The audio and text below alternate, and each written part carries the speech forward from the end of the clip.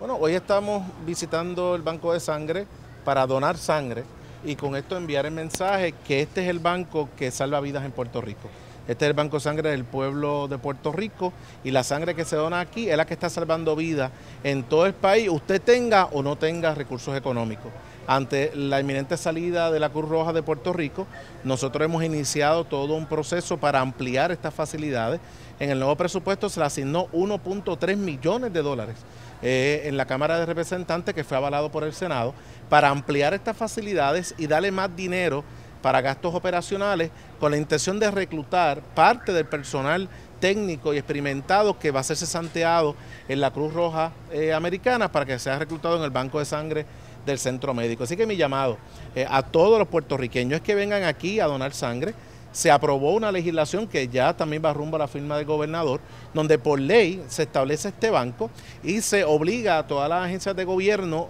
y a los municipios a hacer por lo menos una sangría al año para el banco de sangre del centro médico y con esto vamos a garantizar los abastos que hacen falta en Puerto Rico y también en el caso de una emergencia.